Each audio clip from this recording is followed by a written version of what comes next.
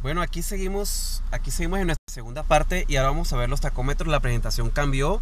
Bueno, ahora, es diferente, el diseño es un poquito más sobrio, pero muy interesante igual. Aquí tenemos la medición de la temperatura del motor, que creo que eso lo ganamos. Aquí el tanque de combustible, aquí el velocímetro y aquí tenemos lo de las revoluciones. Eh, bueno, aquí este computador también, la forma de presentarse cambió un poco. Vamos a verlo un poco más de cerca.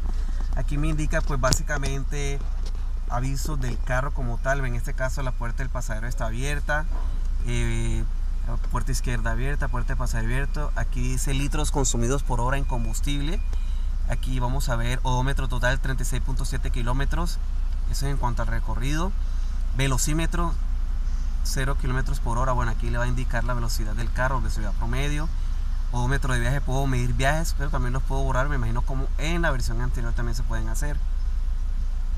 Eh, combustible, promedio de combustible, kilómetros por litro gastado más o menos.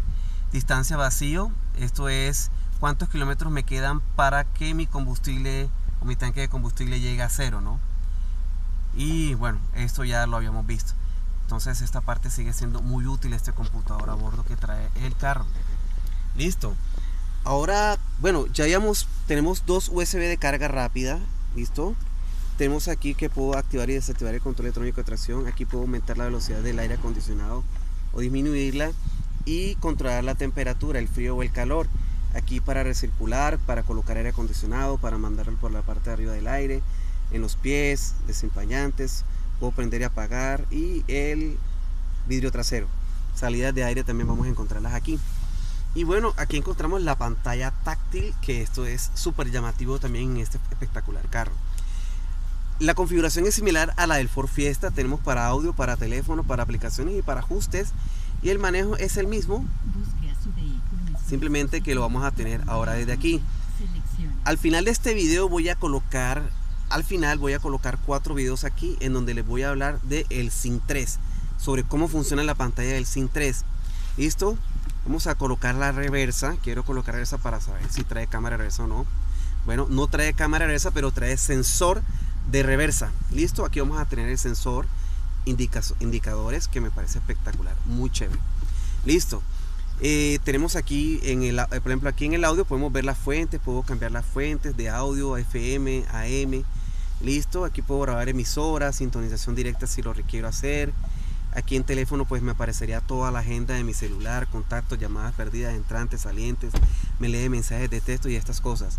Aquí las aplicaciones, aquí puedo descargar la aplicación, por ejemplo, Spotify para escuchar música, ¿ya?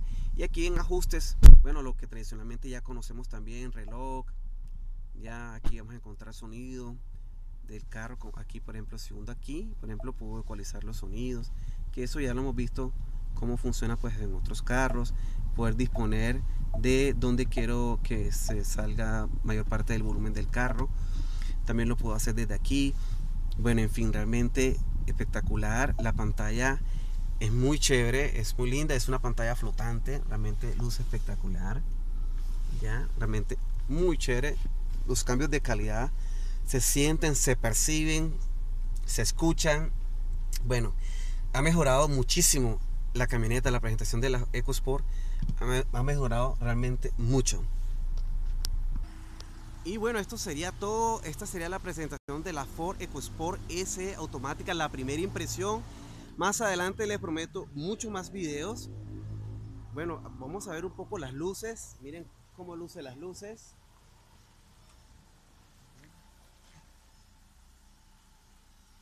Esa es la direccional.